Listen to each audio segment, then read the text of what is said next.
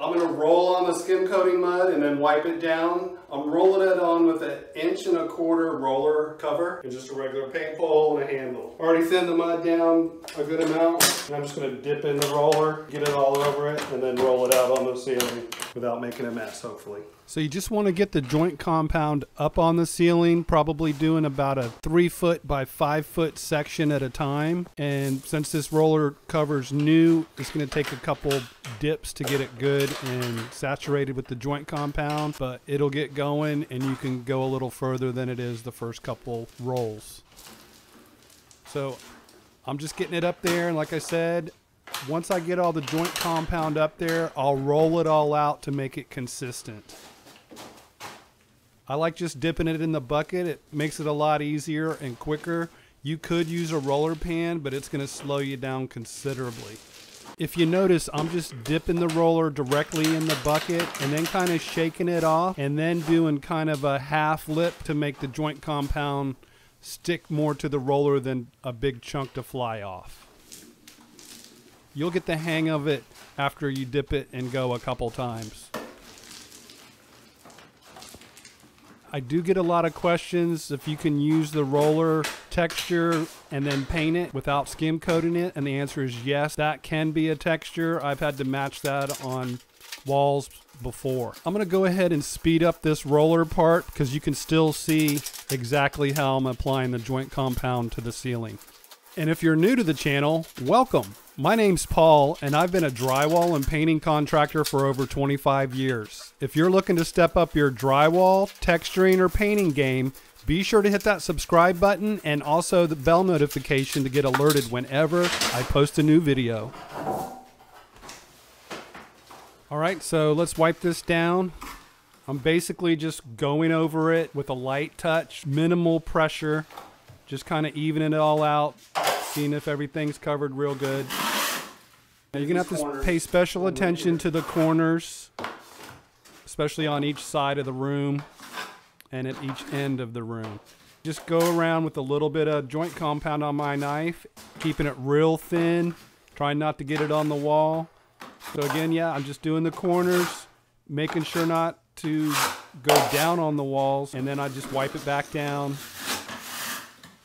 You're going to end up with a half a pan full of joint compound after you do all the wiping down. What I'm doing is I'm applying pressure to the right side and no pressure on the left side. That makes the lines go away. People wonder how you get a nice slick finish. That's how you do it. You don't have any lines to begin with or very minimal where you can just scrape them down. And for the record, I will not be doing any sanding on this ceiling whatsoever.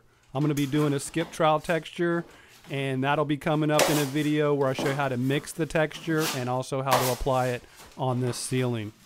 I'm going to go out a little bit further and go ahead and hit these corners since I have some mud in my pan. And then I'll get back to rolling out the joint compound on this small section.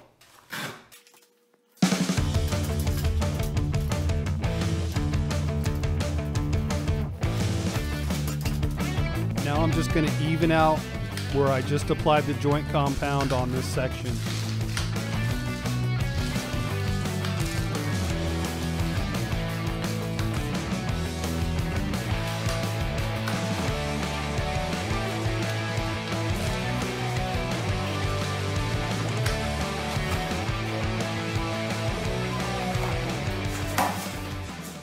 I want you to notice how I'm applying pressure to the left side and lifting slightly on the right. That's how there's not a line as I'm going. You only see the line on the left side.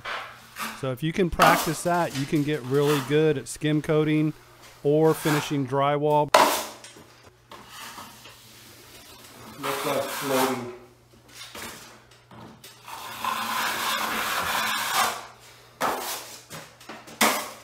Let me know in the comments what kind of drywall project you're working on. Again, I'm just paying special attention to these corners. You want those to be nice and crisp when you go to texture and then paint. All right, so here's that section of the ceiling that I skim coated. Again, it's probably about a three foot by five foot. All right, let's do another section of this ceiling.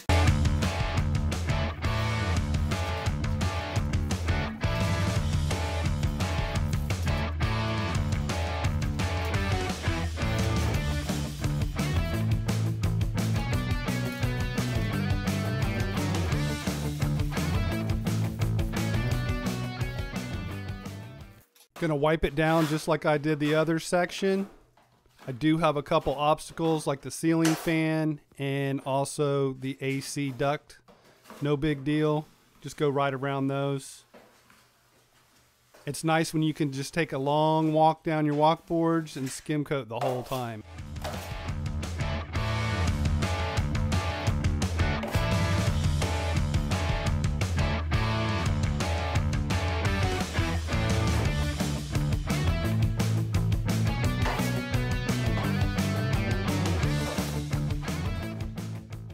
I'm applying pressure to the right and lifting on the left.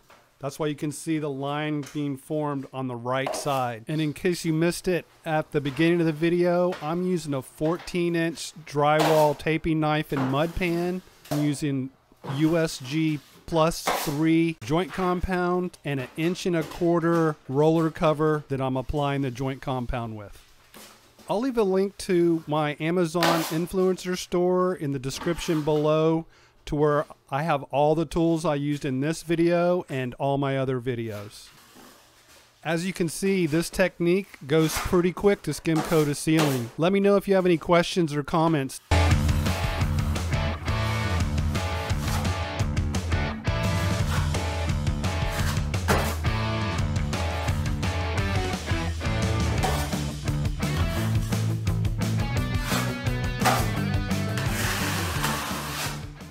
Here's the section that I just completed. Like I said, I love doing this process with the paint roller. It really speeds things along.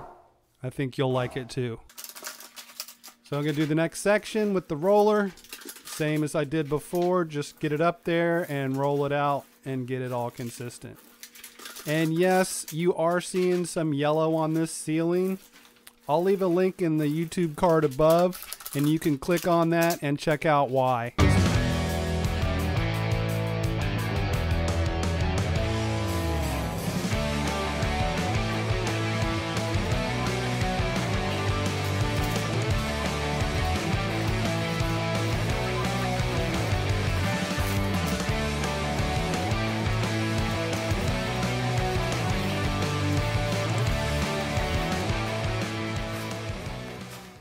Let me know in the comments if you're a DIYer, contractor, painter. Just kind of curious.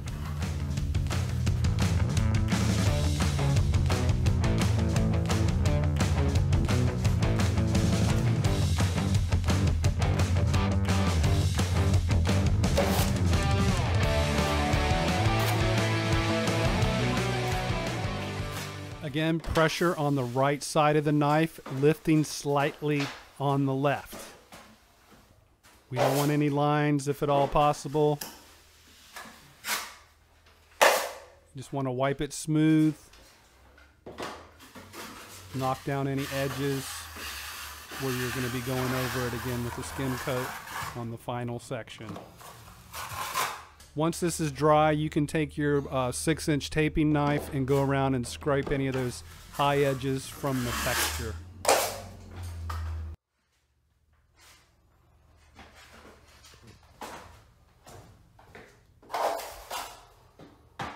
All right, here's the final section. I'm going to roll it out and then skim it out, and this ceiling will be complete.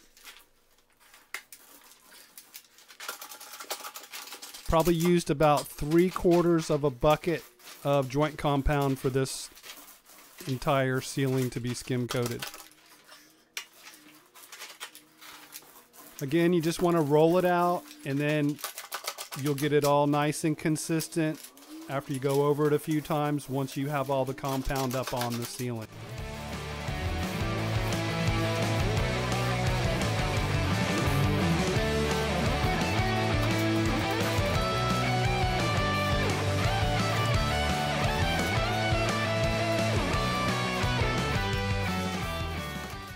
Gonna skim out this final section, work on the corners a little bit. Of footage on this project, so you want to be sure to hit that bell notification and the subscribe button if you already haven't to be able to see those videos.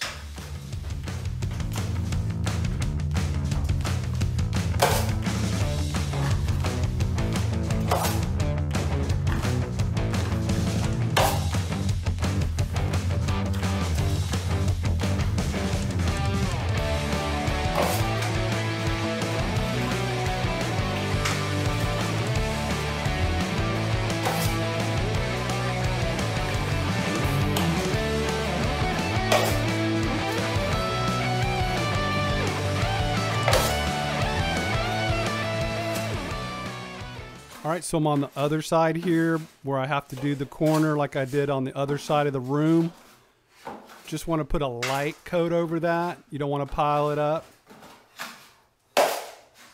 You definitely don't want to go right where the wall meets the ceiling and pile that up or you'll see it after you paint potentially. Especially if you're going for a smooth ceiling. The skip trowel texture is pretty forgiving, but if you're going smooth, you definitely want to pay even extra attention to the corners.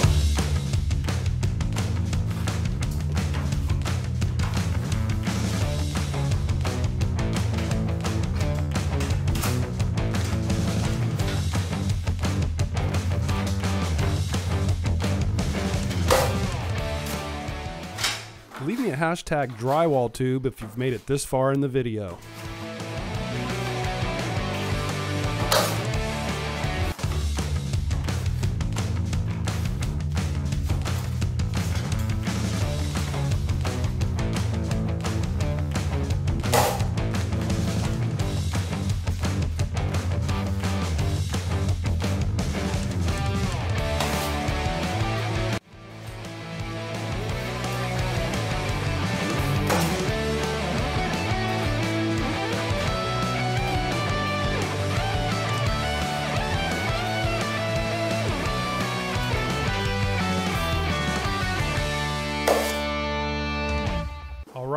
And there's the ceiling skim coated. I know you can do this if you put your mind to it, so get to it. Let me know what you got going on. And if you want to catch the next video or any of my upcoming videos, be sure to hit that subscribe button now in the center of the screen to keep up with all my videos.